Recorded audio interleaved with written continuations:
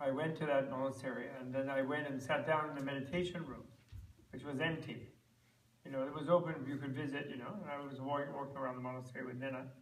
So then I went and sat down in Dogen's meditation room, and some monk who was running around with, a, with those sort of like a cloth, polishing floors in the hallways, you know, like, mm-hmm. and he was sort of running like in that like the downward dog posture, but running. Mm-hmm. And he stuck his head in the room. He said, "No sitting." I had to laugh, you know. Dogen is like just sitting in Buddhahood, you know. It's like uh, it was famous Shikantaza, you know. So I'm the only one who got the precept in the Japanese sitting is Buddhahood monastery. Do sitting. Bad karma. you need a sheet of paper that you give her. But uh, first I'm waiting for, yeah, okay, here. Go ahead, this is the whole game. Yeah. Um, Okay, hi- great. Hi everyone, I'm Nina, um, operations manager. Don't you need a, a mic? Oh no, I can talk louder if anyone can't hear me. Can everyone hear? Everyone here? Uh, so, welcome to Menla. Uh, we're very glad that you could be here. I just have a couple opening announcements just to, to make your stay more enjoyable. Um, the front desk will be manned basically from 7.30 a.m. to about 9 p.m. So if you have any questions regarding your stay or your room, just go right up there and ask them about that. Um, if you have an emergency when you're on site, we have an on-site caretaker uh, that can be reached all throughout the night. Um, you're gonna wanna pick up the phone in your room and you wanna dial nine first to get out, and then the uh, maintenance number is posted on the welcome letters in your room. So he'll be there, you know, within minutes to help with anything from, you know, a water break to a toilet issue, anything like that. Just call him right up. Um, if it's a serious emergency, you want to dial 911, and the ambulance or fire department will be here within five ten minutes, so they get here pretty quick. Um, on a lighter note, all the water on property is drinkable, so anything from any of the taps you can drink right out of. It comes right from the mountain and goes through our purification system. Um, yeah, there's welcome letters in your room, so I, you should read all those. They give you more relevant information that goes more into details. Uh, your schedule is posted at the front desk, and all of our staff is more than happy to help you guys with anything, so just feel free to ask. And welcome to Menla. Thank you, thank you. Enjoy. Oh, yeah, you finished? I'm sorry, I didn't have my hearing aid on. Thank you, Nita. So, uh, it's just I have to put on so I can hear the sound of my own voice as well as anybody else. Um, so welcome, everybody. Very nice to see you here. I'm particularly, I'm Bob Thurman, and uh, I'm, uh, I guess, temporarily, I'm caretaker here. I'm one of the caretakers, one of Dalai Lama's caretakers at this Medicine Buddha Menla Center. And uh, I'm very happy to welcome Eric Rosenbush, my friend Eric, who is the foremost disciple of, of Lama Nida, of uh, Nida Chenagtsang, who is, uh, who is also a good friend and a teacher. And uh, he's, I guess, I guess, I guess I could say he's my second, uh, who I accept seriously as a medicine teacher, Tibetan medicine teacher. The first was Yeshi Dhonden, who I studied with for some time. Although I always fail, as I told, it's always the Hashimori's birthday. But somebody on stage asked me, in 51 years of knowing His Holiness, like, can you tell us what you learned? And so I was telling them, and I mentioned that in 51 years I have failed to learn enough from the great teacher of the Dalai Lama. I was saying that to Dalai Lama and said, because he made me a monk, and then I failed to remain a monk, and then he taught me this, and I failed to fully realize that, and I so I'm continuously failing, is what I was saying. And then, uh, then I said that uh, I don't know why I got had a crazy idea there. It was in Los Angeles, I think, maybe was, or Anaheim. So I had crazy ideas. So then I said, uh, but luckily, Your Holiness, because he was there, know, I was saying, luckily, I met a woman who became my wife and who reflected your teaching to me strongly on a daily basis. and of course, I failed to learn from her too, completely. Uh, and I, and all the, in 48 years, she has not actually accepted me as her disciple. She considers me still a novice and uh, on probation. I was telling Mr. Dalama, who was like a little bit surprised, but of course he knows my wife very well. And he calls her Amla. And uh, I said, but in, in 48 years, she does concede that I have made some improvement and some small progress. And then I said, but I'm not sure, do you agree, Your Holiness? In 51 years, have I made any progress? I don't know why, it was very mischievous, but the, the audience liked it in Anaheim. They were applauding, I think, especially the women. And the Dalai Lama was very gracious, and he said, yes, you have definitely shown improvement, Mr. Professor, you know, was going on. it's going on like that. So that's anyway, this is Menla, Menla is, um, is um, part of Tibet House US, which is the Dalai Lama's cultural center in America. And uh, the reason that we have Menla was given to us, we, we wouldn't have had the money to buy it, it was given to us um, by a lady who had, a wealthy lady who had been preparing it to be a Greek-based healing center. That's why it's called Delos down there, you know that building? And then the Greek, the people who were managing for her kind of didn't manage it or something, so she wanted to give it away to another healing center, and she heard about my view that the Tibetan medicine is one of the jewels of the Tibetan culture.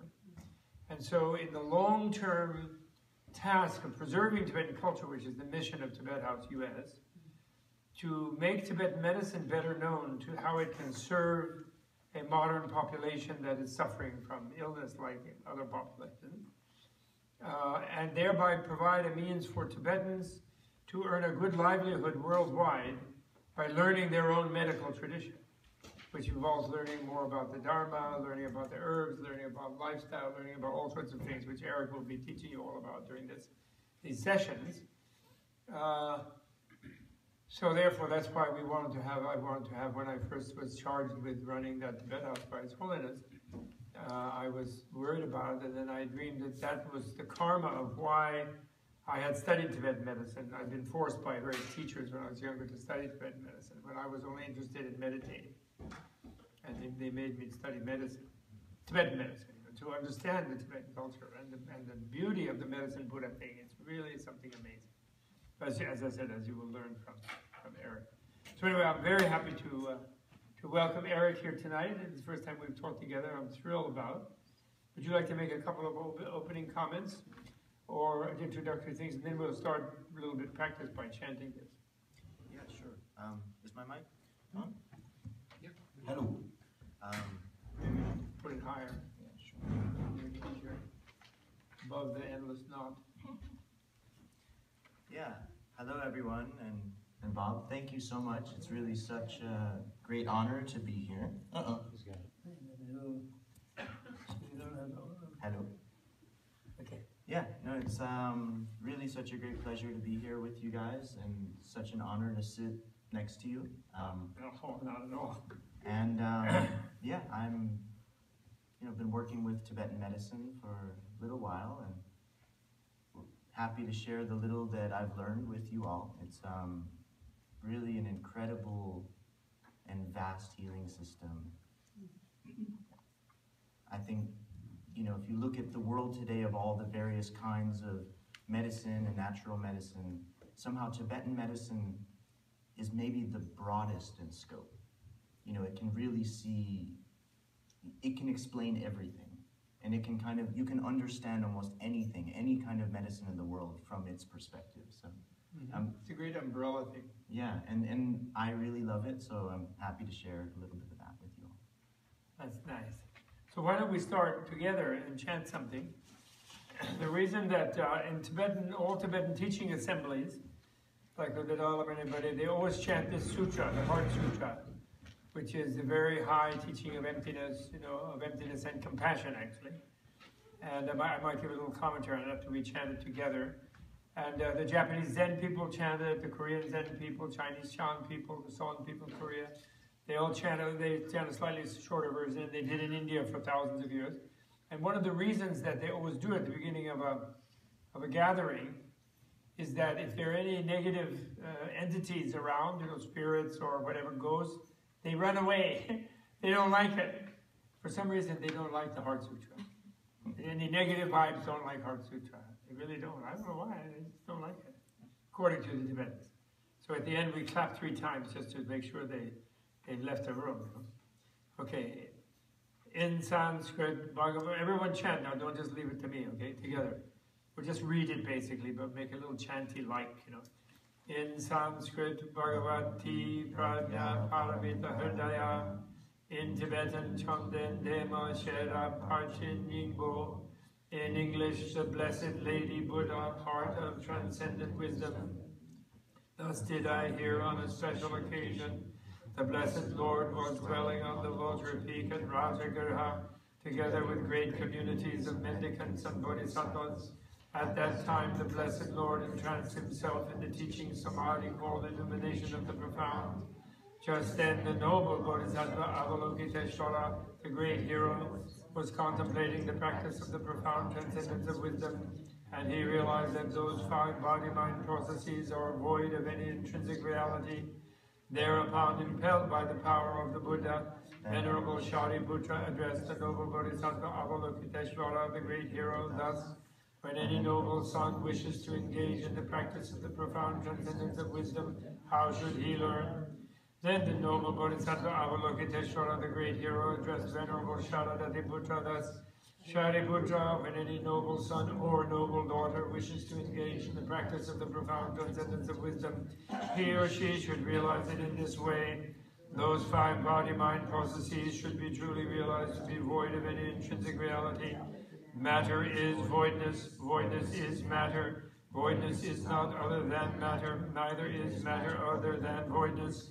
Likewise, sensations, conceptions, mental functions, and consciousnesses are also void. Shariputra, thus all things are voidness, signless, uncreated, unceased, stainless, impeccable, undecreased, and unincreased. Shariputra, thus in voidness there are no matter, no sensation, no conception, no mental function, No consciousness. no eye, no ear, no nose, no tongue, no body, no mentality, no form or color, no sound, no scent, no taste, no texture, no idea. There are no sense media from eye to mentality sense media, and there are no consciousness media from visual to mental consciousness media either. There are no ignorance and no cessation of ignorance, and so on up to no old age and death, and no cessation of old age and death either. Likewise, there are no suffering, no origination, no cessation, no path, no intuitive wisdom, no attainment, and no non-attainment either. Therefore, Shariputra, because the Bodhisattva is without attainment, he lives in reliance on transcendent wisdom. His spirit is unobscured and free of fear. Passing far beyond all confusion, he ultimately succeeds in nirvana, and all the Buddhas who live in past, present, and future rely on transcendent wisdom to reach manifestly perfect Buddhahood and unexcelled perfect enlightenment. Such being so, there is the mantra of transcendent wisdom, the mantra of great science, the unexcelled mantra, the uniquely universal mantra, the mantra that eradicates all suffering. It is not false and should be known as truth. The transcendent wisdom mantra as follows Tadyatha. Om Gate Gate Paragate Parasamgate Bodhi Swaha two more times. Om Gate Gate Paragate Parasamgate Bodhi Swaha. Om Gate Gate Paragate Parasamgate Bodhi Swaha. Shariputra, thus should the Bodhisattva, the great hero, learn the profound transcendence of wisdom. Thereupon the blessed Lord arose from that samadhi and applauded the noble Bodhisattva Avalokiteshvara, the great hero. Excellent, excellent, noble son. So it is, so it is. One should practice the profound transcendence of wisdom in just the way you have taught it. And even the transcendent Buddhas will joyfully congratulate you. When the blessed Lord had spoken thus, the venerable Sharadvatiputra, the noble Bodhisattva Avalokiteshvara, the great hero, everyone in that audience and the whole world with its gods, humans, titans, and fairies rejoiced, and all applauded what the Buddha said.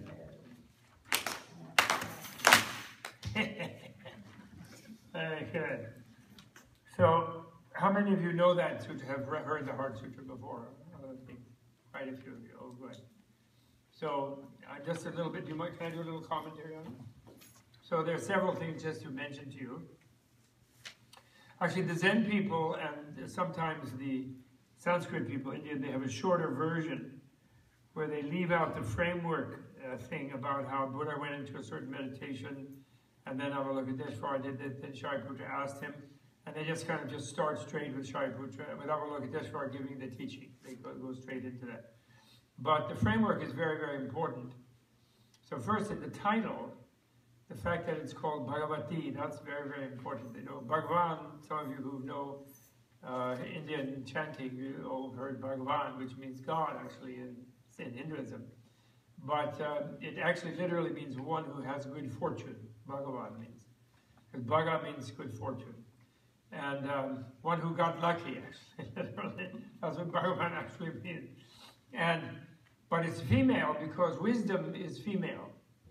And uh, sort of archetypally, although most of Buddhist literature was written by men and so forth, but still, because they were in chauvinist Asian societies like ours, but still, the archetype of wisdom is the female. And the male actually is the archetype of compassion, which is surprising perhaps to us. So the two are together. But uh, anyway, that's why it's a female Buddha, Bhagavati, and Prajnaparamita, or transcendent wisdom, is a goddess actually. So this is her heart, this short sutra. It's one out of 18 transcendent wisdom sutras. Uh, this is the sort of most famous short one. There's a shorter one, the shortest one of the 18 sutras is just one syllable, which is the syllable uh. And that's the shortest of all the Transcendent Wisdom Sutras. Uh. Because uh, in Sanskrit, like in uh, English, it can be a negation, you know, like you can say amoral, you know, aniconic, you know, you can put a uh in front of a word and it negates the word, right? And, uh, uh, and so it means that also in Sanskrit, you put a uh in front of something and it negates it makes it negative. Uh, adharma means, for example, non-virtue or non-dharma. You know? But also, the ah in the Indian uh, legendary, uh, the uh is the first vowel. And until, the, when, when the universe is in a state of destruction in between its different cycles, you know, pre-Big Bang and after Big Crunch of previous universe, when it's in what they call state of pralaya or dissolution, what there is around, lying around is not atoms, but syllables. But the consonants without the vowels cannot make any sound, so they're dead syllables. It's just instead of ka without the vowel uh, it's just a sound. No sound. So the uh comes and creates the universe by picking up the consonants and making them articulate something. Follow? So it's both a negation like emptiness, and it is what makes room for the universe, like like uh, like the vowel uh, in the Indian Indian physics, you could say, Indian cosmology. So it has that same double meaning as emptiness, and um, so that's what I'll think. Then you all you may have heard before they call it perfect wisdom or perfection of wisdom, but paramita means going beyond.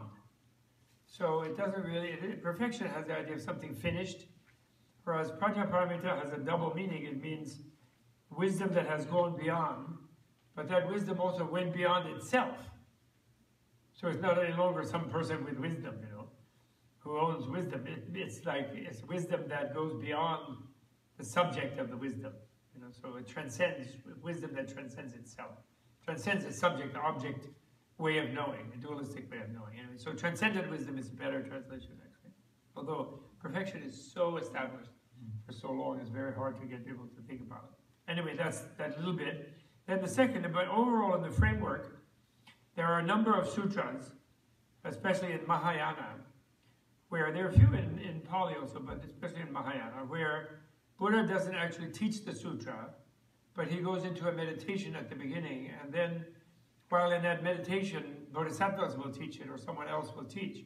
But the idea is as inspired by the Buddha, because a Buddha is a being, by definition, who feels that he or she, or it, there could be it Buddhas, I think, is everything else at the same time.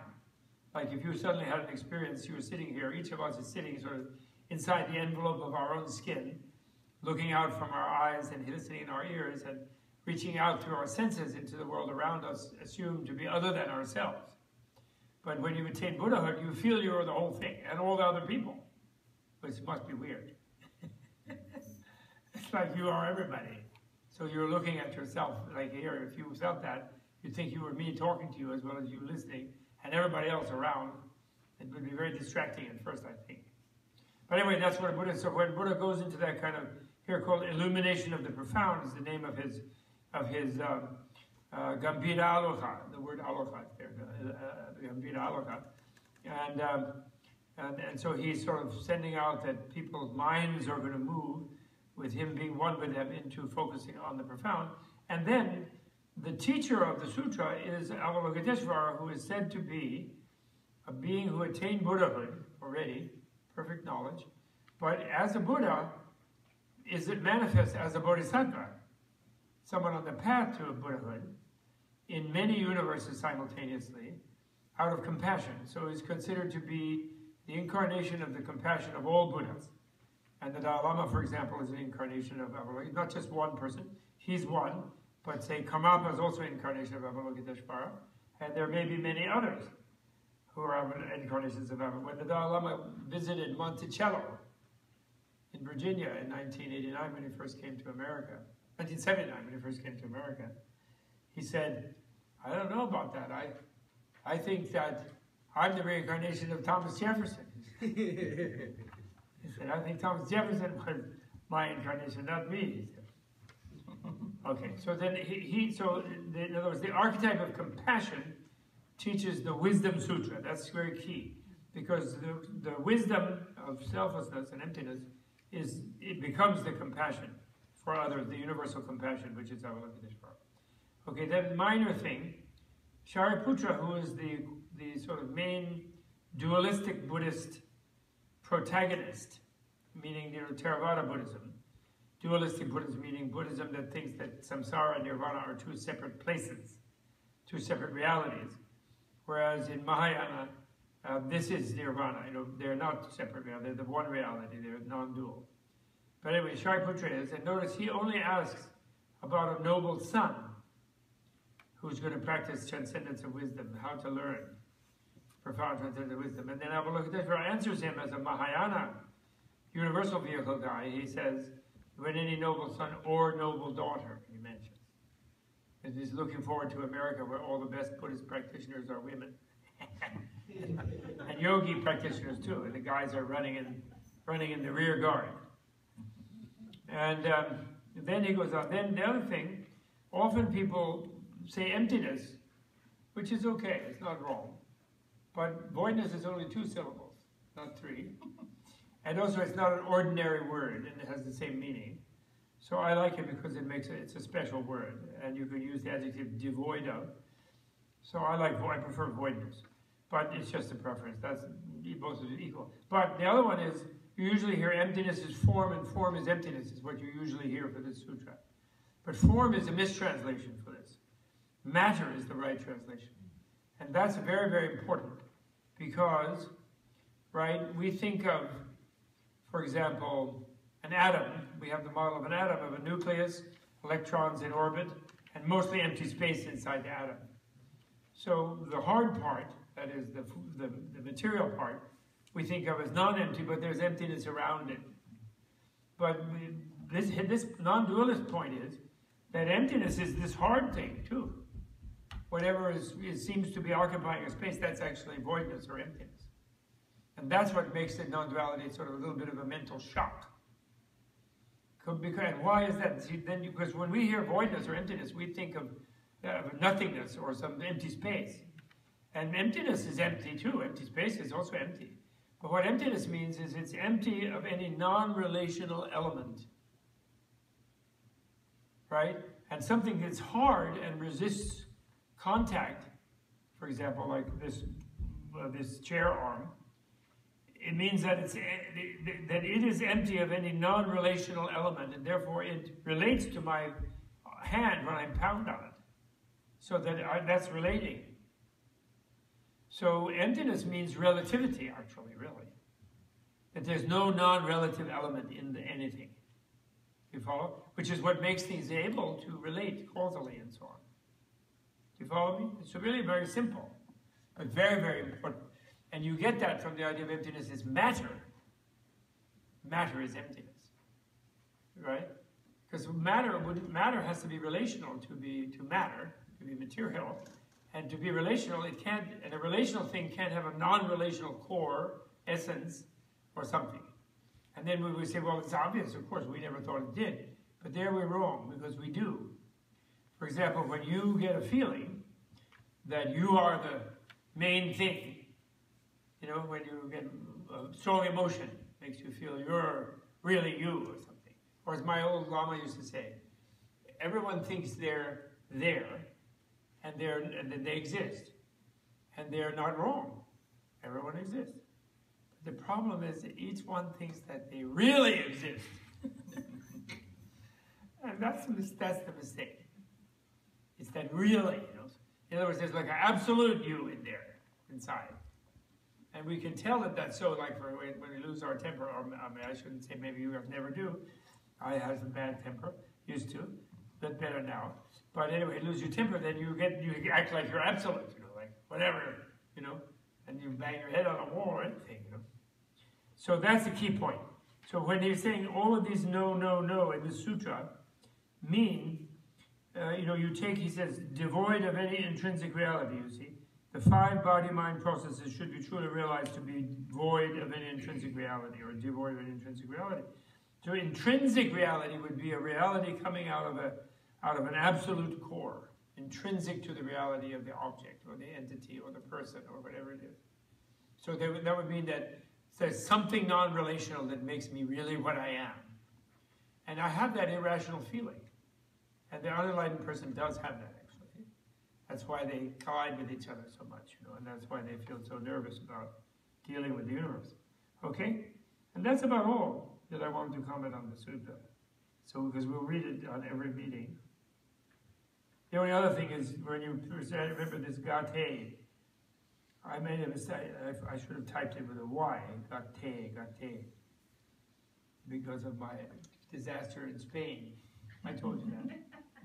oh, so when they translated my this translation or a little earlier version of it in, a, in my Essential Tibetan Buddhism book, that they don't consult you these presses, you know, when they translate into a language. And so they they translated this mantra, Om Puerta Puerta, Puerta Grande, Puerta Muy Grande. Because they thought it was gate, gate. so, instead of gate, gate. Okay. Okay, that's that. Um, okay, now, uh, uh, do you want to say something on this plane about the medicine, or shall I go into introducing the science thing? Maybe let me just say anecdotally that Eric's guru and my guru, but Eric really is, is a good student, I'm just a kibitzer, uh, Dr. Nida, he likes very much that people uh, when we first met, he immediately asked me in one of his own classes, and I was just attending, he said, asked me, would I please talk about inner science, which in the Indian catalog of sciences is considered the supreme science. And actually it sort of is Buddhism. It's called inner science. I mean, they didn't have a, Buddha didn't have a word Buddhism, actually. And he, he underemphasized his role. He always said, I can't save people. Actually, God told me he couldn't save you. He said that to people. He didn't. God didn't tell him that actually. Brahma, that's a local one.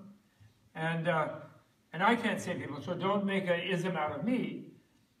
But use your own mind according to some methods I've helped you have because I use mind, if possible, and and then you can save yourself by developing an understanding of yourself and the world and so on. That's how you have to do it. You can't rely on any other being, including God or any God or me, to save you. You have to do it through your own understanding. And you can. That was what encouraging says. You can do it as human beings. You're incredibly intelligent. You can do it. Don't say, I'm too dumb. Or I'm not educated or whatever. You can. And, but, and, and eventually, in some lifetime or other, you have to if you want to really escape suffering. He, he taught like that. So this inner science is the, it's sort of, you could say psychology, you could say philosophy, you could say, because in a way, Western modern science has lost its inner science element. It was originally had its kind of inner science. Like Newton was very spiritual, and he was he was not in denial of the existence of his own mind. Neither was Descartes. But um, lately, they are, as the philosopher Thomas Nagel says, all the great Western materialist scientists are sitting around trying to figure out the nature of the world and the universe. And they're starting from a starting point where they're in denial that they personally have minds. and every, every measurement they take and everything they do is done by their mind. And their mind is, is there, you know. So what is this, you know? How they expect to explain everything when they're in denial of the, the one thing that's right, that is their own face in a way, actually. But I like that. And uh, Henry Stapp, a famous quantum physicist, also told me that, that uh, since 1926, modern science has re-encountered the mind as a force in nature with the Copenhagen Declaration of Quantum Physics about how you can't, your observation of something, the observer interferes with the object, so there's no pure objectivity. And therefore, in seeking truth and seeking accuracy and precision, you have to take account your subjective bias and your mental presence. It's part of nature. You can't say it isn't. But they, he said there's been a revolt against that on the part of materialistic scientists. And they've been going off into all kinds of strange theories. He says that. But anyway, the Indians said that from thousands of years ago. And um, so they have this inner science. And Dr. Nida wants to, to um, teach the healing science, Sowa Rigpa, which is Eric's uh, thing and his thing, and um, on the basis of its growth from the inner science, from this sort of king or queen of the sciences. Uh, and, and I didn't really realize, it's only since then that I realized why he, I was very surprised, of course I was pleased, and I was very surprised. So, because even Tibetans sometimes consider them sort of different things, you know. Sure. But I was pleased because and, but I think I realized his wisdom. Why is that? I have, in 50 years of dealing with all this, I've known many people who are like fed up with surgery or hospitals or, you know, whatever, you know, like the food table or all kind of current medicine practice. And not to mention the pharmaceutical companies and what have you. And, and they, you know, they're into like diet and doing things, yoga and herbal medicines they like very much. But then when they get diagnosed with leukemia or something, they rush off back to the to the chemo and the whole thing, and they and they just jump for that, and they're terrorized by that diagnosis, and then they they're in the hands of the of the materialist doctors, and um, and who, some of whom are very good. I'm not against them really. I'm not against the dogmatism underlying the system, and that's because you know that thing that they say, if you could bottle or chemically produce and market the placebo effect, it would be like a miracle drug, right? Because people healing, their mind goes with the healing process, is very, very crucial to the success of any therapy. That's like sort of well documented fact, right? So we modern people, including me, when I break some leg or when something happens, you know, serious, I might even be frightened, although I've decided I won't, I will follow Ivan Illich. I had a friend, Ivan Illich, who had a brain tumor. And he refused to deal with it because he was very critical of medicine. And he had a tumor coming out behind his ear, like a big thing like this. He lived 22 years without surgery wow. with that tumor. And then, but he finally died in his, night, in his late 80s or something of natural causes, but he had an extra piece of head. and he refused to have his brain cut off because you know, it was too sensitive, he thought. So I, I, I, hope I can do that if I get that. I might chicken out, I don't know. But the point is, where one's faith and one's sense of confidence is, is affects how well your diet or your yoga or your thing in the long run will help your health or won't help it, actually.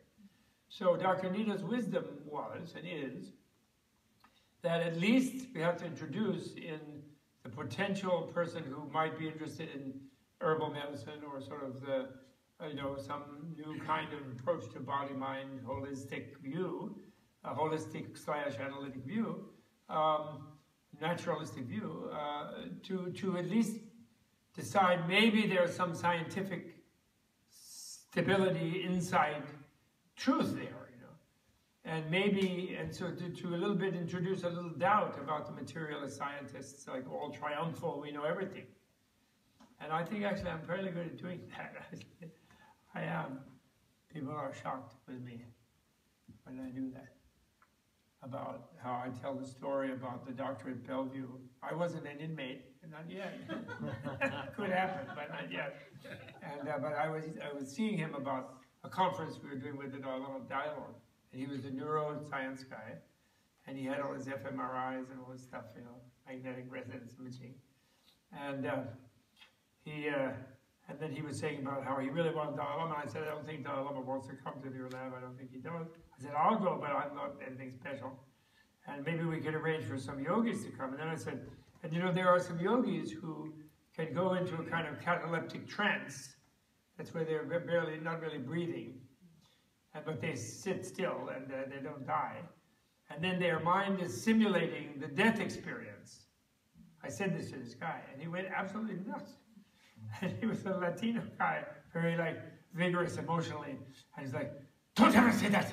Not in this house. We, we know that there's no action after death. There is no death experience.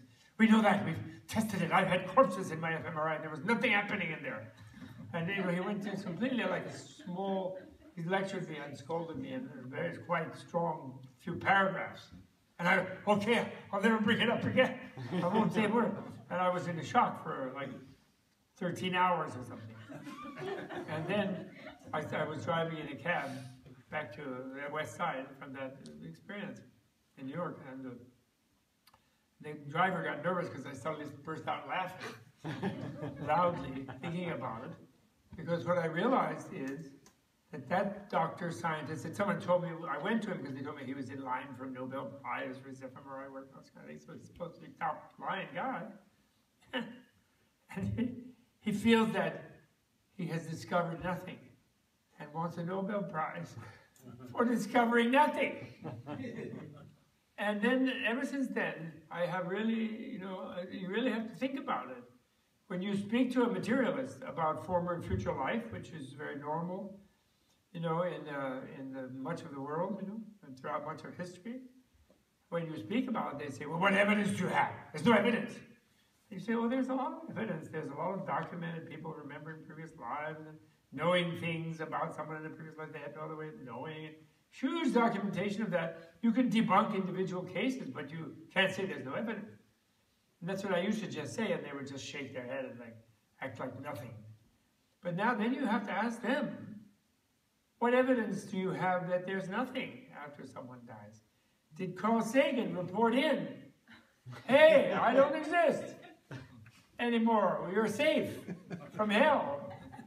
Did he? Has anybody, would anybody ever be able to report it if your thing was correct?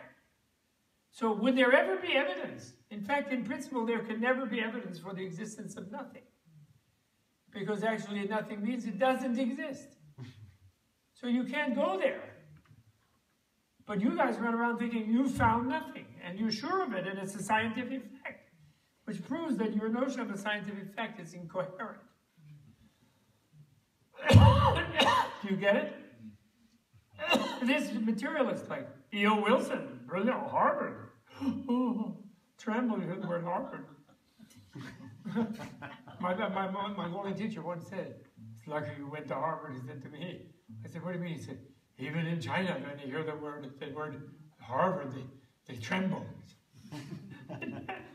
I think he was there in the 30s, you know, when they had the Harvard Yenching in, in Beijing. So we're not dealing actually with, we are dealing with, unfortunately, with rocket scientists, but they're not that bright actually.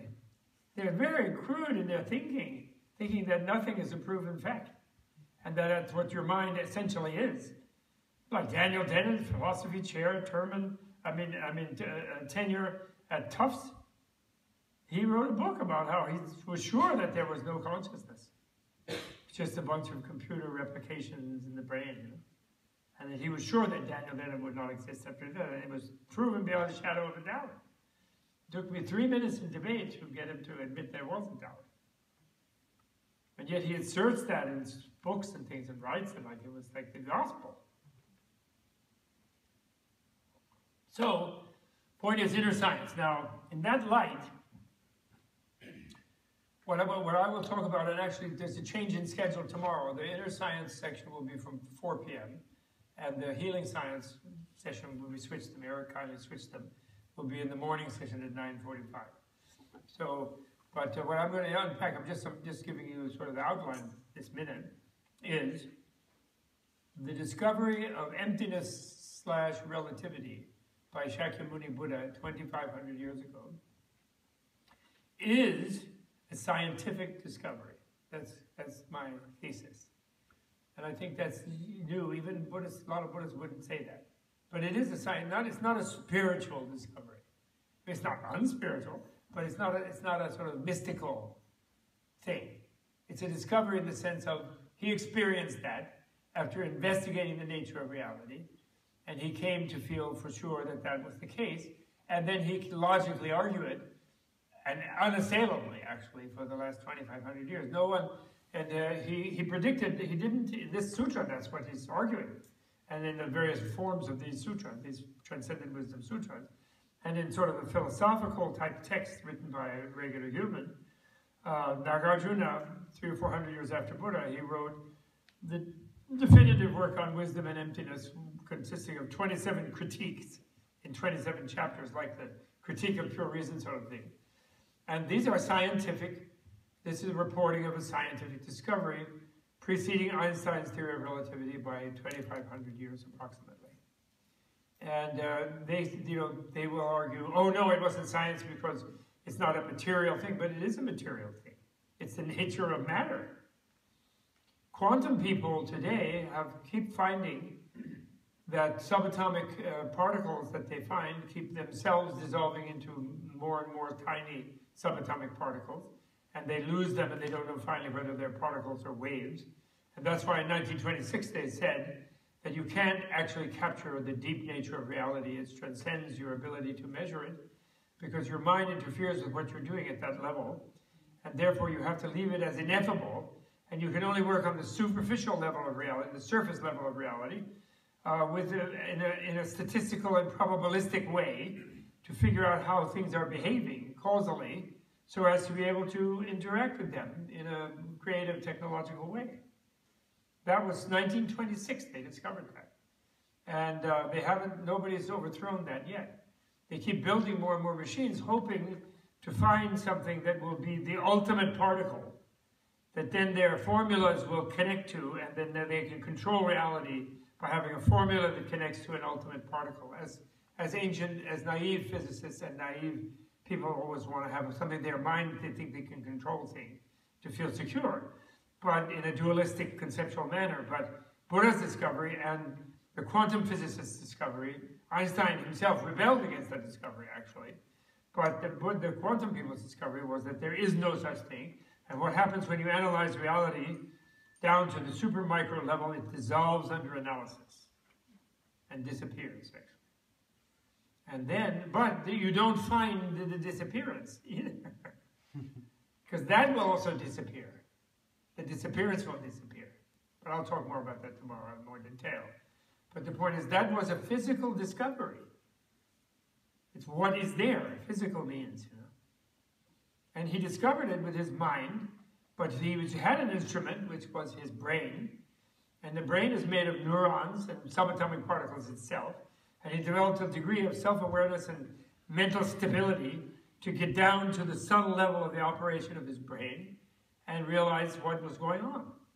And also not finding any piece of the brain even. The brain disappeared under analysis too. And in a way he maybe realized that, him, that like, like Descartes did, that it's just a thought. But he didn't make it like some naive idealists who say that it's a thought without there being matter. On some levels, there's still matter. But maybe the deepest level, of thought is more powerful. Maybe. I think he suggests that. So deeper levels of Buddhist teaching suggest that. But isn't that matter doesn't exist? It's that it thought also disappears under analysis. But when they reappear, thought is the at the subtlest plane. It's easiest to interact with the subtlest plane through thought.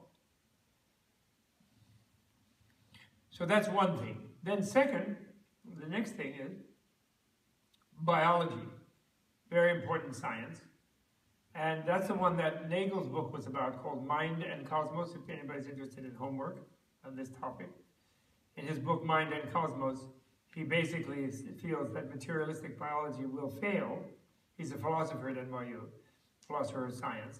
It will fail to give an exhaustive description of biological reality because consciousness is a major component of biological reality and they're acting like they're going to reduce that to something else and they're not going to consider it to exist. And he feels that that project is doomed to fail. And he says the reason they're so persistent in that project, although they're aware of its failure, is that they think the only alternative to materialism, scientific materialism, is reversion, reversion to sort of fundamentalist, naive theism. And he says, no, there's a way in which you can bring mind back into it in a pragmatic and scientific manner. He thinks, he doesn't know what it is. He just calls for that, Thomas Nagel does. So I love that because that's calling for the theory of karma. The theory of karma is a biological theory accounting for the different structures of life, the different living forms, the different species. You know, the Darwinian thing that human and the monkey and everybody and the Galapagos turtle or whatever, they're all interrelated, genetically interrelated forms, uh, is, would not be news to Buddha. But, we've all, but Buddhists, we're more interrelated to monkeys than Darwin. Because it isn't just our genes. We've all personally been monkeys.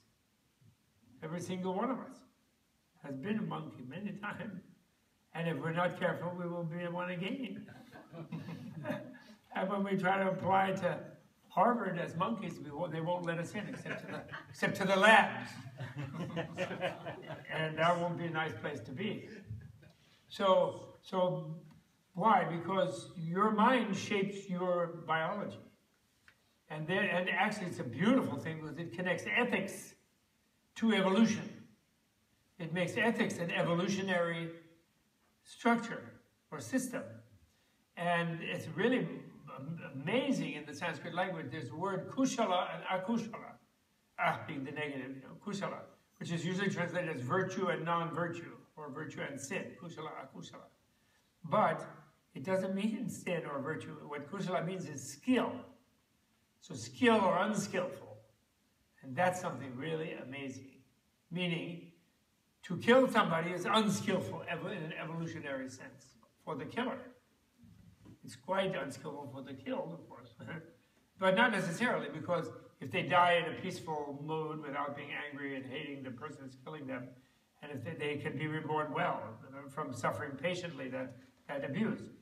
But the killer is very, very unskillful evolutionarily for the killer because then they become shut off from the life of that other being by shutting that being off they draw a boundary and say that being's life is not part of my universe. So they narrow their experience of life in the universe. And they, they lower their evolutionary openness and therefore the, you know, the human being is a valuable being compared to a crocodile or a lion or a horse because the human being is a more open system, more multiple, programmable, deprogrammable, thinking of options, opposable thumb, can play around, play the piano, can do different stuff. And those other animals are like more like they only run in one direction. They, you know, they're not, they don't have this, this vast openness that we've had. And, we, and to get out of having been animals like that that we've been, we had to be among those lions and tigers. We were the more open one, the least greedy one, the one who would think maybe well, I won't jump on this one. I'll wait for a few weeks. I'm not that hungry yet. Day after tomorrow, I'll have, I'll jump on one or something, you know. So that's, that, that's why it's so hard to come up from that lower thing, according to the Buddhist biology, because such a being doesn't have the critical self-reflective faculty to the degree the human does to correct or modify consciously their reactions and behavior and instinctual surges and urges, as those animals do. And uh, we still have that limbic set of urges, but we are very capable of controlling them, actually, and sublimating them.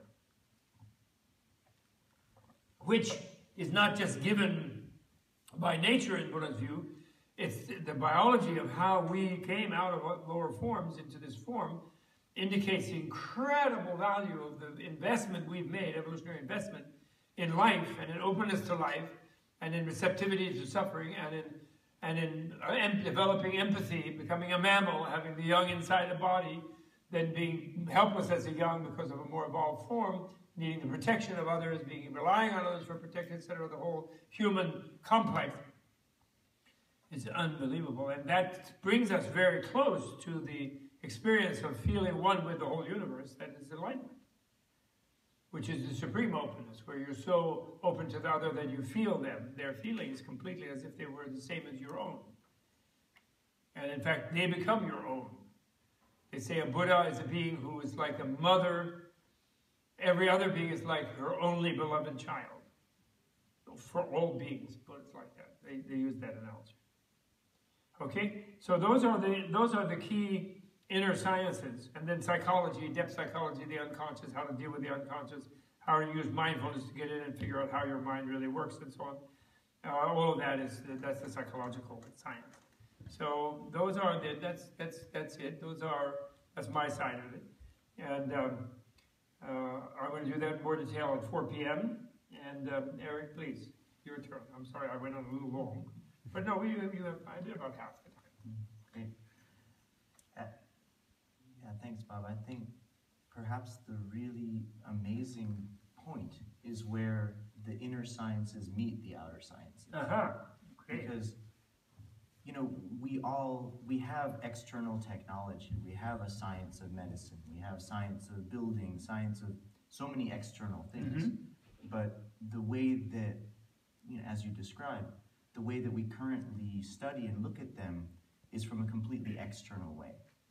And I think a unique aspect of Sowa Rigpa, the, the Tibetan science of healing, is that it looks at this body, you know, your own body, another's body, which is an external science, but from the perspective that's rooted in this inner science. Mm-hmm. So it sees us having a body, having life, but coming from this continuum of consciousness, coming from a empty universe, coming from a reality of karma as the causative agent behind you know creating phenomena. Mhm. And so that has amazing implications in how medicine sees the world.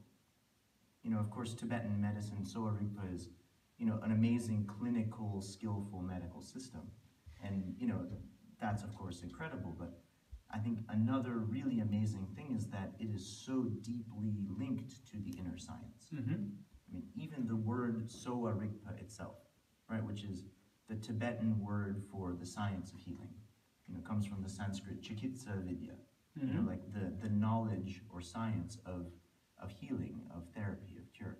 Um, you know, Dr. Nida always likes to say that that itself has kind of an inner and an outer meaning. So you can see Sowa Rigpa, you know, the, the science of healing, the knowledge of healing, as an outer science, but you can also see it as an inner science. Mm-hmm. Whereas, you know, the word sowa, which means to heal or to nourish, um, to give a therapy to, and the word rigpa means, you know, a knowledge, a science, or just knowledge itself. So normally we say it's the science or knowledge of healing, but also it means that your own innate essence of consciousness is healing. Mm. That there is a healing aspect to to awareness itself. And I think that is the That's inner very cool. science of, you know, what you're saying, this depth psychology and how just being aware of the nature and the essence of your mind Mhm. and how thoughts and emotions unfold and unravel, you know, is healing nature in itself. Mhm. And so the, the sciences of Sowa Rigpa really incorporate all of that together. And, and I think that's one thing that's very unique that really you can't find in any other medical tradition. Mhm. Um, I'm not saying Ayurveda, Chinese medicine, other medicines don't have that component, but Mhm. it's not as direct. Mhm. Maybe there's a, a yogic tradition and a medical tradition, and there's some intersection point, but it's not in the text, it's not in the classical Mhm. tradition. In, but in Sowa Rigpa, it's very linked together. And so I think this, this outer science of healing, you know, we have to start from the inner science. We have to start from the understanding of the nature of reality. Mhm. Um, so, so that's the first thing I That's think. very that's, deep. That's incredible, yeah. Mhm. Um, and, and with that, then it'll influence how you know, how we look at our bodies, how we look at healing, what makes us sick, what makes us well. Mhm. So, um, you know, maybe one aspect of, you know, the key cosmological view that you find in, you know, Indian and Tibetan thought is this causality that you mentioned. You know, that there's a cause and effect, a karmic principle, Mhm. you know, and, and that's easy to understand on a, you know, a Newtonian physics kind of action having reaction level. But if you take it deeper and you look in a subtle kind of manifestation, Mhm. you know, that we have bodies because we had the cause to be born in a human body Mhm. and all of the things that you can apply to that. So then Mhm. how that influences medicine is very profound. Mhm. You know, how we can find healing, we can work with not only the effects, but we can work with the causes too.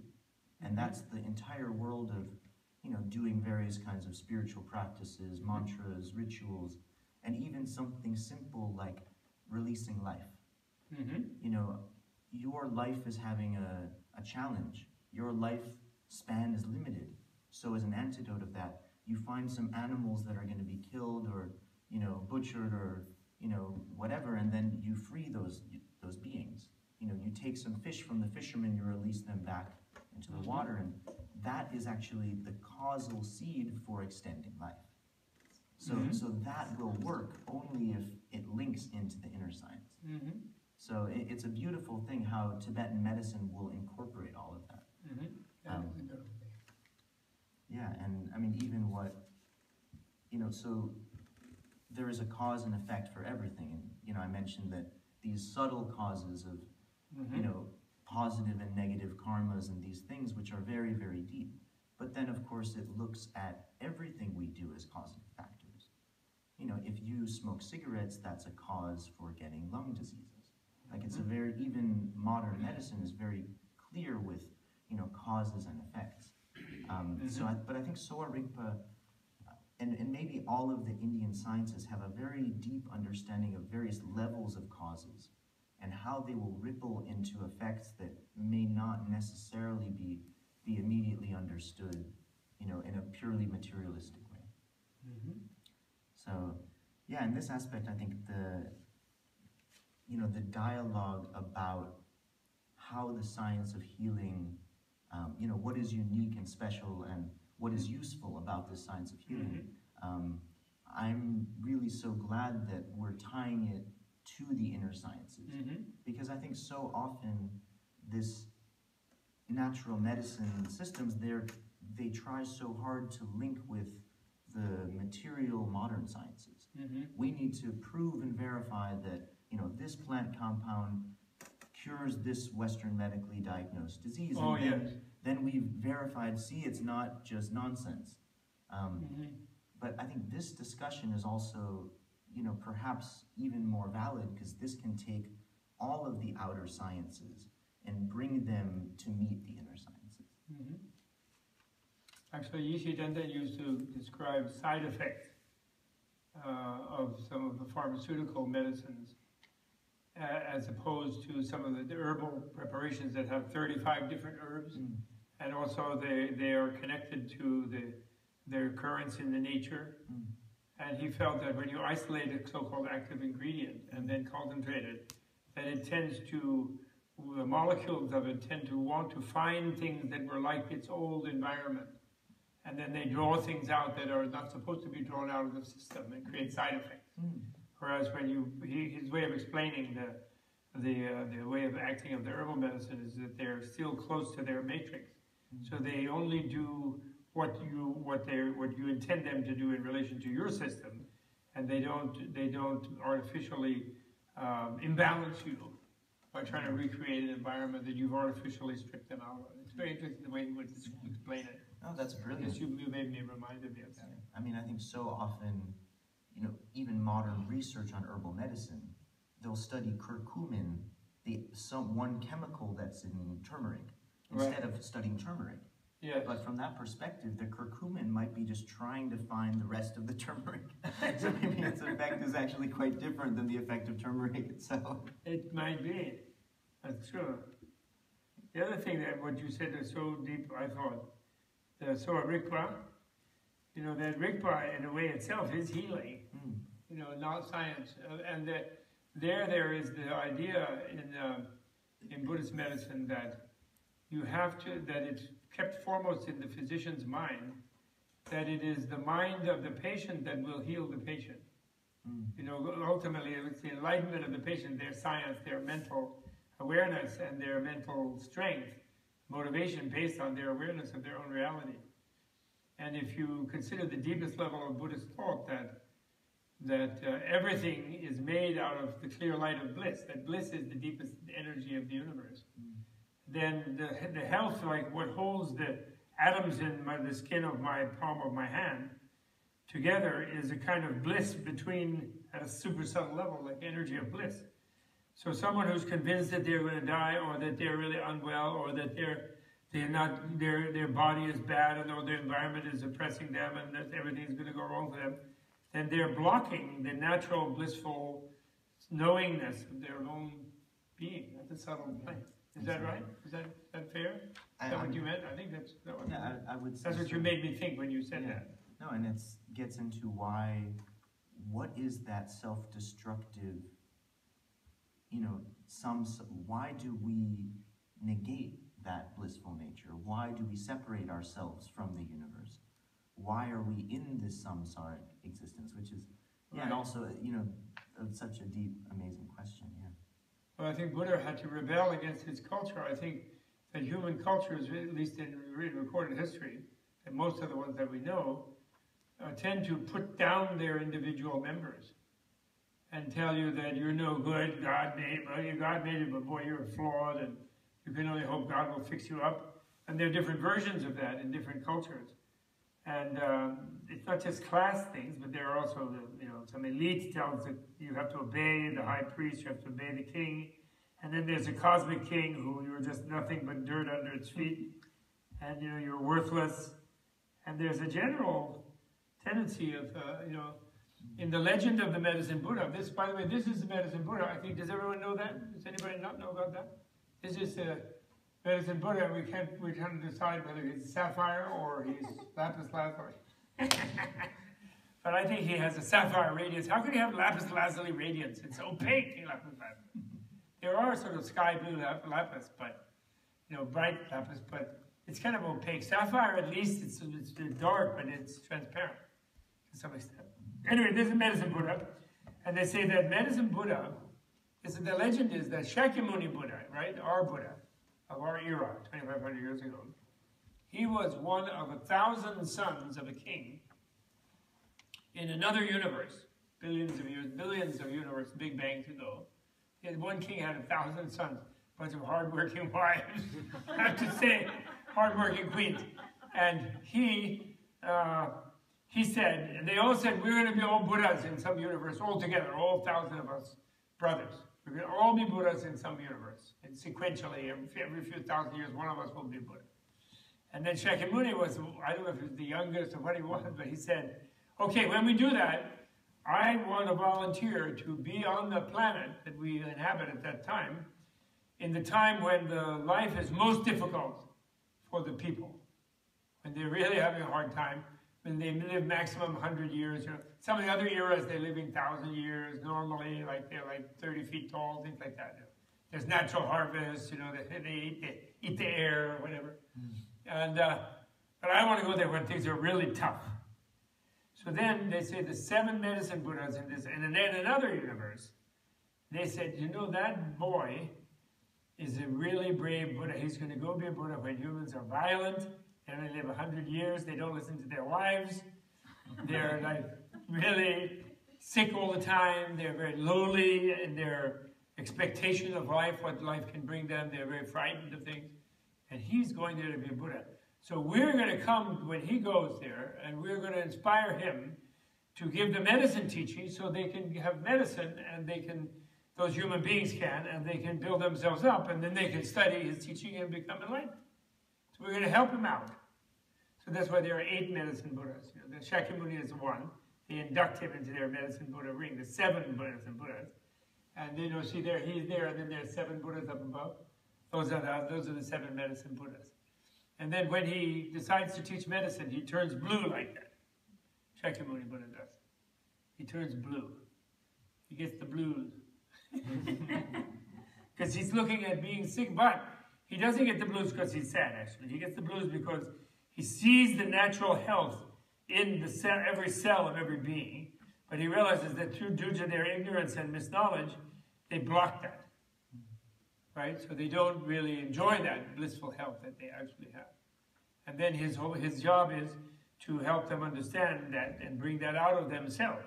And that's what then the doctor, who, when you practice medicine in this uh, tradition, you, you visualize that yourself as becoming one with the medicine Buddha. You sort of are, you become the oracle of the medicine Buddha if you are at the best chance, you know. You, you open yourself to, to channel the medicine Buddha, let's say. I mean, you learn all this technical stuff, right? And this botany and all this stuff that Eric will tell you, like very complicated things, very, very uh, scientific and rigorous. But then when you actually are in the act of trying to feel what's going wrong with the patient, you channel medicine Buddha, right? Yeah, sure. Yeah, and um, so the Tibetan medical tradition, of course, was taught by medicine Buddha, but there was, um, I mean, the main teacher historically that we have, his name was Yutok. And uh, Yutok had, was, you know, we believe was a complete, perfect embodiment of medicine Buddha. Right. You know, that, that he was an emanation of medicine Buddha. Right. So that he was, you know, a human that had completely, you know, that was completely in the state of medicine Buddha at all times. Mm-hmm. I mean, to the point that when he died, he just dissolved into light as the medicine Buddha. Mhm. So the complete enlightenment in the state of medicine. And so Yutok, he, you know, we believe he came to Earth on two incarnations. Well, actually, you can say three important incarnations. Really? The first one was Jivaka. Oh, Jivaka. Oh, tell us about Jivaka. so Jivaka was um, he was an amazing one of the most well-known old historical Indian doctors. Uh-huh. He was trained at uh, Ta- trained at Takshashila University in Pakistan currently um, under the great Atreya, who was one of you know the great historical Oh, really? You studied directly with Atreya? with Atreya. Yeah, Where was Takshashila? In Afghanistan, right? um, I think it's in Pakistan, Pakistan? Okay. somewhere around there. Right. Um, but and, and that was one of the great universities of the ancient world, and maybe the one of the first. I mean, Oh, I think so. Before sixth Nalanda. yeah. century BC. You know. Yeah, Um, yeah. And Atreya was supposedly a master at brain surgery. Ah. And um, yeah, there's all kinds of wild stories about their brain surgery and, and Oh, no, there's- I'm sure learned that and um, They did that. various different things. Um, Yes. So, you know, and Jivaka then became the doctor um, around the community of Shakyamuni Buddha. And so he would give medicines to the Buddhist community, and he would often hang out with Shakyamuni, and Uh-huh. they would, um, you know, have different dialogues. There's a Jivaka Sutra, Uh-huh. you know, which is interesting um, because Yutok, you know, his later incarnations was a vegetarian. And in the Jivaka Sutra, Jivaka is asking the Buddha, you know, so you shouldn't let your disciples be eating meat and these things. And it seemed like he was also kind of a pro- proponent of vegetarianism. Sure. So, you know, you can trace this interesting kind of continuity. I didn't that. hear that story. Really? He, he was scolding Buddha about that? Well, he was he was more asking. So you know, Yeah, yeah. why are you allowing the monks to to eat meat? And and that's when the Buddha gave the teaching. Oh, you know, it can't be killed deliberately for the person. It ha- you Oh, yeah. There's all these rules that you know, as a monk, you're going and collecting alms, and so you just have to accept whatever's given to you. That's right. That's the main reason. But you can't. You know, they can't kill a chicken for you because oh, the monks are here. Let's chop a chicken's head off and Yeah, then. if they tell you you have to leave and say no thank you. But it seems Jivaka, he was kind of a lay practitioner that was, you know, not into the eating of meat. Sure. So it, it, it's an interesting thing. Well, the Um, Jains argued against Buddha because Yeah. the Jains were into like not not he, they were mad that Buddha was letting his monks were actually insisting that they accept meat if they didn't know it was coming and it was all the people had. Right. Yeah. But they just had to accept whatever they were given, as long as it wasn't poison. Right. Yeah, and so so Jivaka was the doctor for the original Buddhist community, and then his teachings, you know, got established within the Buddhist monastic community. They went to Thailand. Actually, the Thais believe that Jivaka went to Thailand and established Thai medicine. Uh-huh. Um, but so he became a patron of medicine. Mm-hmm. and you know there's old texts in Pali that have his recipes and his kind of case studies and these things. So then in the 8th century was the first Yutok, you know, Yeah. who was, you know, this incredible master of medicine. Then again in the 12th century was the second. I see. And, um, and you took really So the first one at Takshashila was That was Jivaka. Jivaka, right? Yeah. Okay. So And- the Yutok is incarnation of Jivaka. Yeah, You have to understand that in the Indian and Tibetan world, different people are incarnating all the time, and uh, they like the lamas that I used to translate for an interreligious dialogue. They always had a terrible time with the Christian doctrine of like God only having the one son and the one time and the one culture. They, they just couldn't imagine that, and they would say things like, "But how many children do you have?" Oh, five. You know, to some theologian. And then they would say, but God is omnipotent and he can only have one? And it would go like that because they have this idea that the enlightened beings are so omnipresent and so powerful they're always emanating to help people all over the place all the time. And that it- there's this one geshe that we know in Virginia who passed away now, but he was a very, very um, holy person, really, kind of. And he was also a great teacher, logically and like academically as well. And his students once were in a very positive mood and they were thinking, what a great teacher, we're so lucky to have him. And then they asked him, they said, Geshela, you're so wonderful and such a great teacher. How come you're not a reincarnation? And he said, well, I wanted to be. He said, but all the good ones were taken. because somebody already was incarnating in all the famous ones, you know. Like, they're already incarnated all over Tibet and everywhere. It's like that. I'm sorry, go ahead. sure. So that I didn't realize that Jivaka was that Yutok is considered incarnation of Jivaka. Yeah, That's so- totally cool. In, in Yutok's Namtar, in his biography, they say he was Jivaka and also Gampopa. Oh, really? Yeah, there, there's a few, those are the main ones, because Gampopa was also a doctor. Yes, he was. That's right. Um, Now, was Gampopa after the second Yutok, or was he before the second Yutok? I think he was What, before year, what the year is it? Before, yeah, a little bit Yeah. in between. Yeah. Yeah, see. exactly. Okay. Um, Great. But, you know, the main ones are the two Yutoks, and then they very frequently also speak of Jiva. Right. Um, but so Yutok, especially the second one in the 12th century, really put together all of the streams of Tibetan medicine, Mm-hmm. you know, which is indigenous medicine of Tibet, Indian Buddhist medicine, and Ayurveda that, you know, then got translated, especially when um, the Muslims invaded. In India, there was a, a lot of, you know, things, texts and traditions were getting lost, so there was a big Right. migration north. So there was a big push to translate this information to Tibetan. So you have like Rinchen Zangpo, about a thousand years ago, translated a lot of important medical Oh, texts yeah. and, and so on. So there was a lot of this huge transmission of Indian wisdom and a lot of it, you know, Ayurvedic medicine going to Tibet.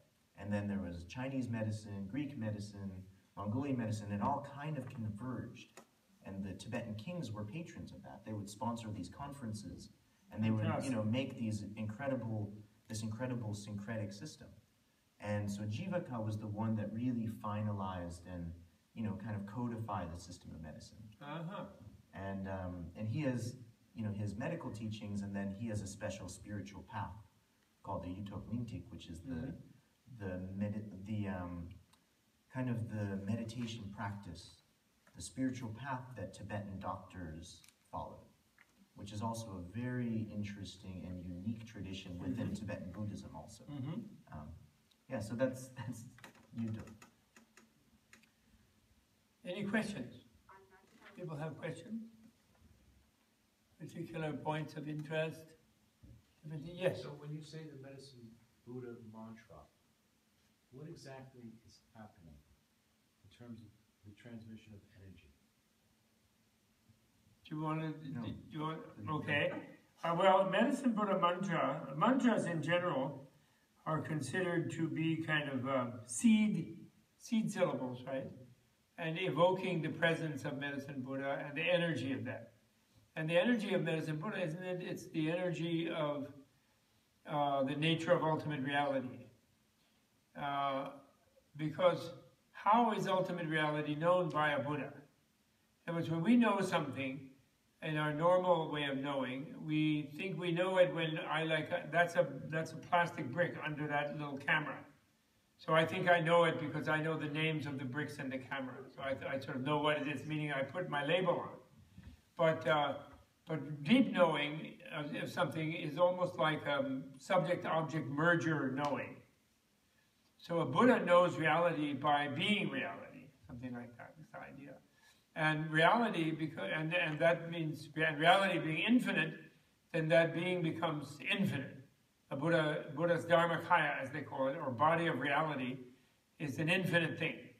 It's a which means which is something inconceivable. I mean, that sounds like a word, but it doesn't. Infinite. The word infinite doesn't land anywhere. it's a negational word.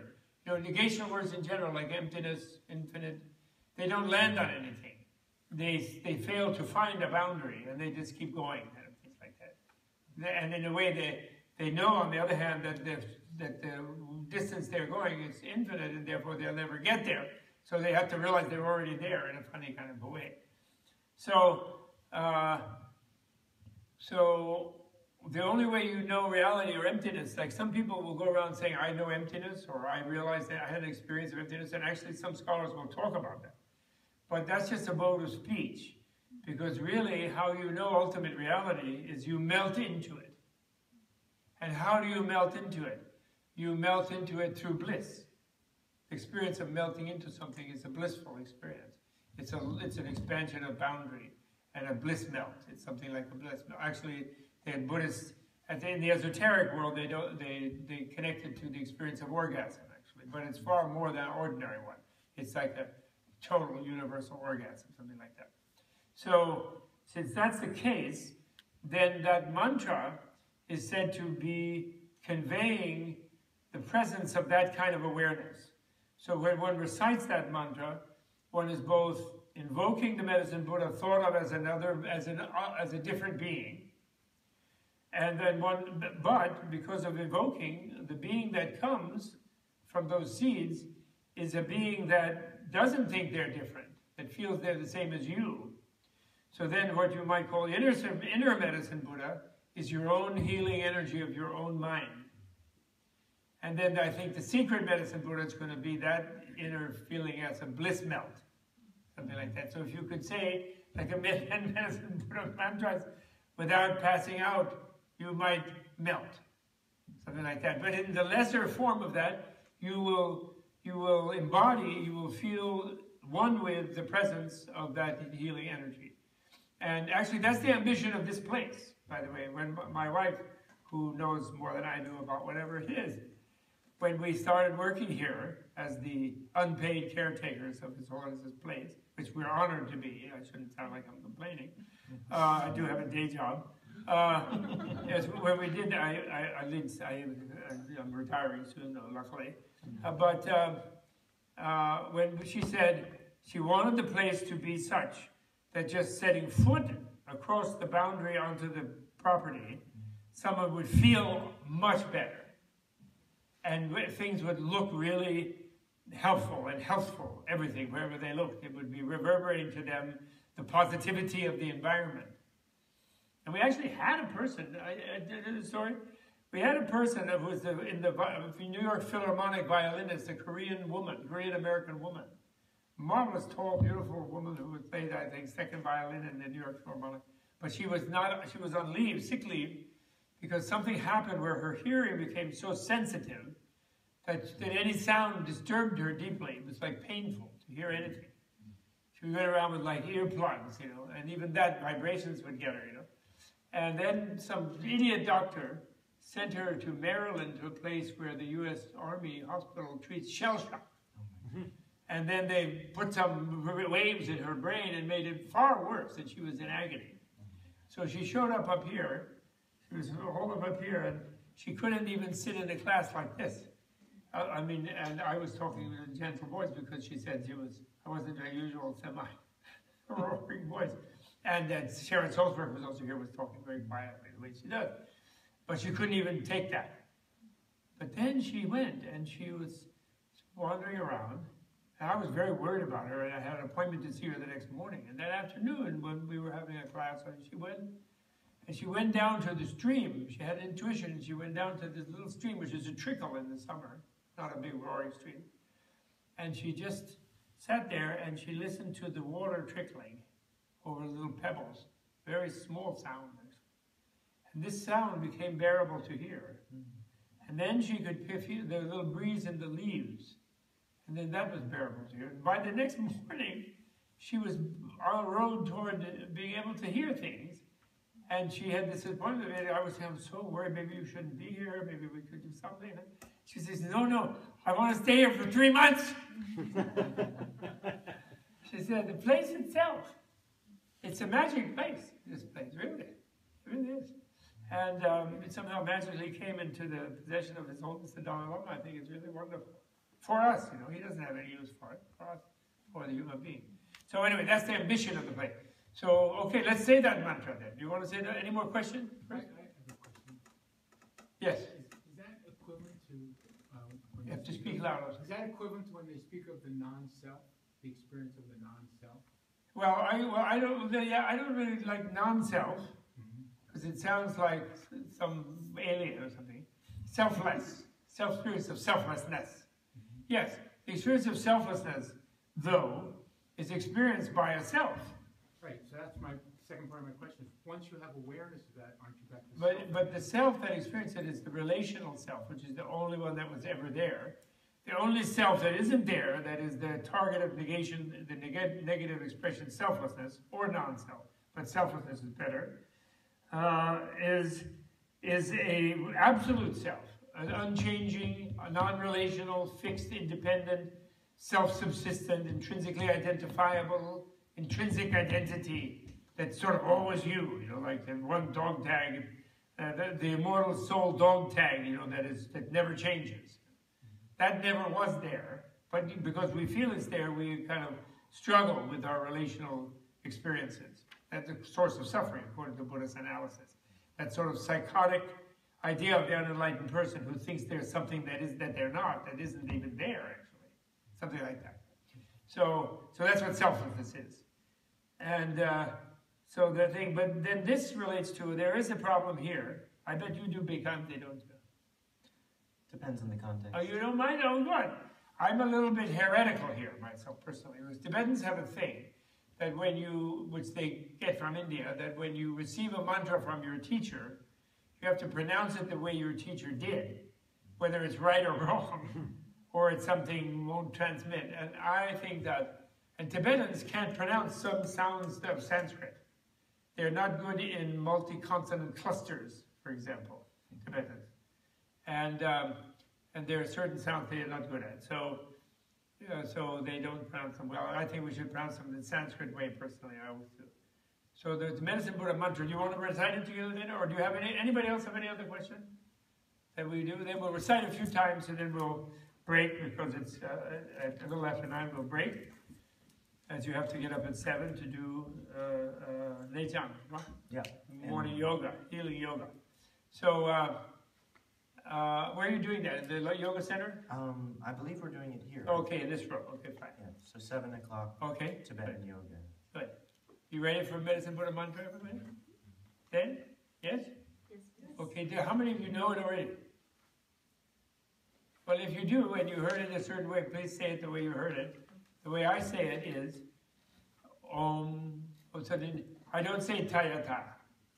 Sometimes they say this Tayata, Tibetans. But you know what Tayata means?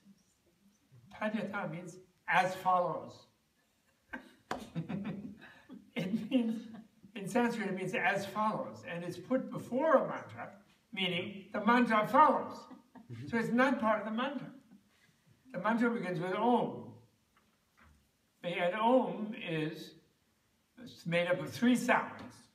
Ah, U, Um is Om.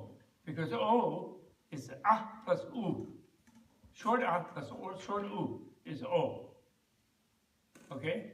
Om. So, and the Ah is the body of all Buddhas.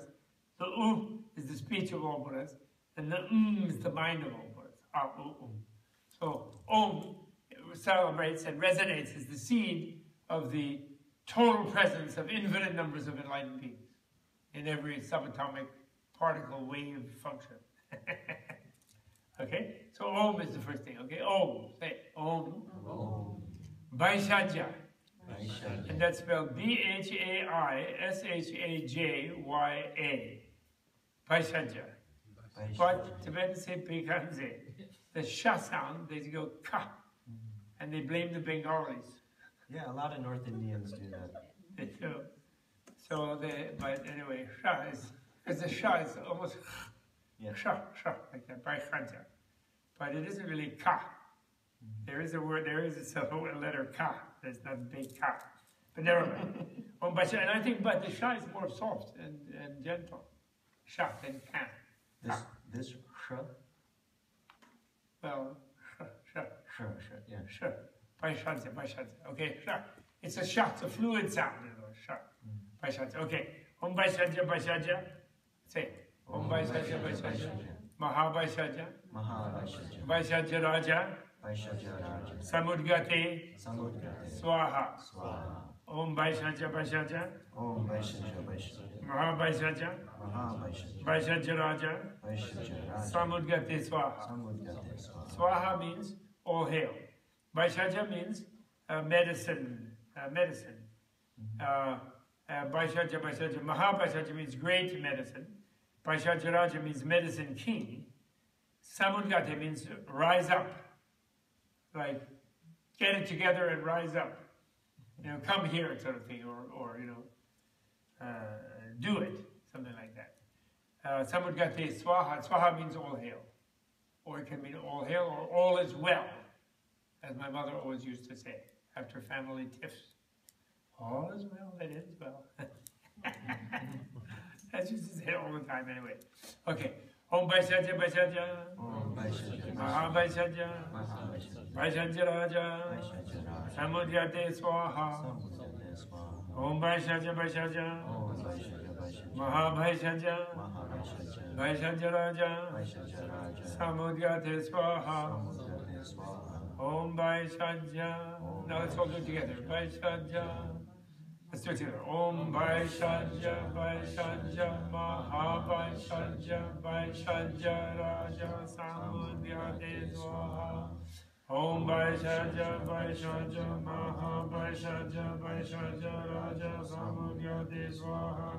Om Vaishajya, Vaishajya, Maha Vaishajya, Vaishajya Raja Samudyate Swaha. Om Vaishajya, Vaishajya, Maha Vaishajya, Vaishajya Raja Samudyate Swaha.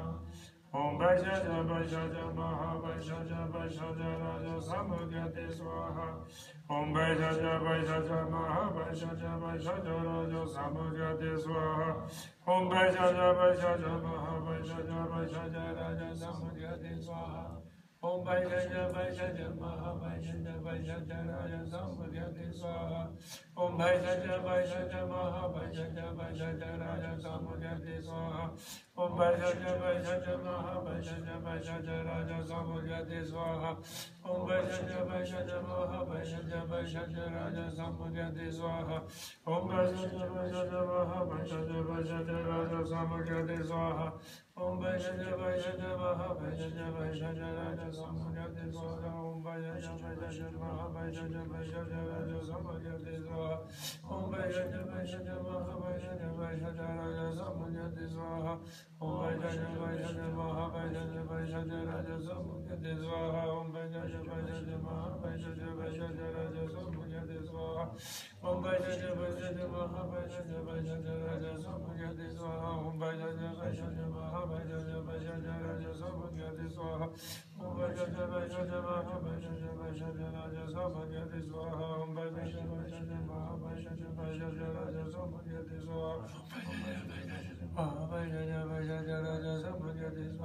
Vaishajya, Vaishajya, Maha Vaishajya, Vaishajya Raja Samudyate Swaha.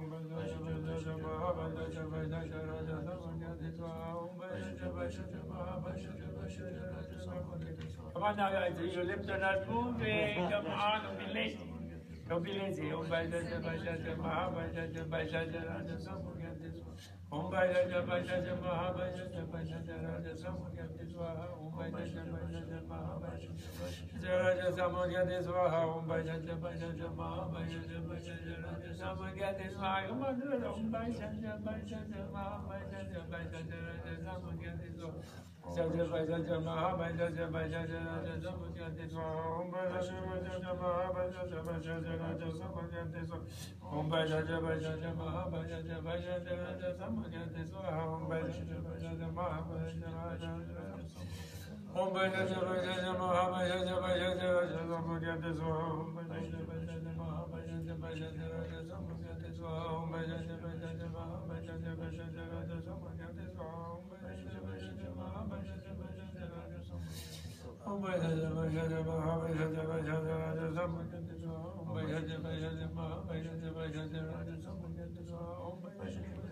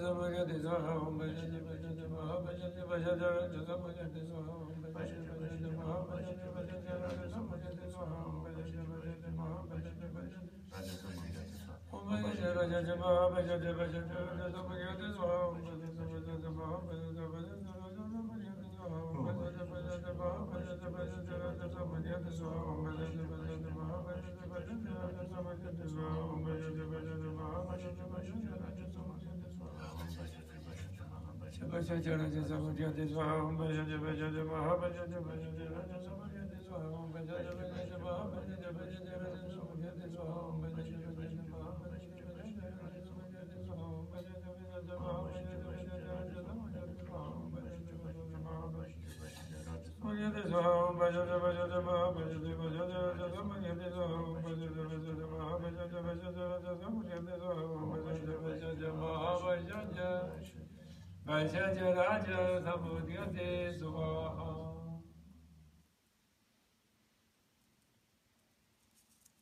Actually, thank you. By it's going chaf more, taking the shut more in back of the mm-hmm. mouth, it comes closer to the my guru's way of saying. I feel more virtuous now. thank you, Eric. Okay, so by going like that, and the bhai is a, with an H, you know, mm-hmm. that's that Indian sound that some of you maybe are difficult. Because all our consonants are aspirated in English, like T, there's a, there's a H with it. But B, it's not that aspirated, But Ba, Ba, Bhaishaja like that, Bhaishaja. Okay. so now bedtime, I think. You, you have some final. No, I was just going to say the samudgate and samungate. That's just the Tibetan not able to write the duh kind yeah, of. Yeah, yeah, right. So it's, well, they it's say samud. No, I even forgot that they said that. Yeah. I, was, I thought samud they could. Yeah. Udgate. Yes. Ud means up. Sam means totally. Gata Gate means totally up gone. Mm. You can't go right away. Not you can't be up gone. She wants to go. You were because you were Okay, practice it. You see, you know, you all learned Vipassana. A lot of you have done Vipassana, right? Mindfulness. I bet a lot of you have. You know, and then, you know, you count your breath one to ten, and then back to one, you know, and then you mind wanders off, then you bring it back, you know. So actually, mantra meditation is very. When you do meditating, you do it very murmuring. The word japa means kind of murmuring. Actually, Alex Graham used to translate muttering. Mm-hmm.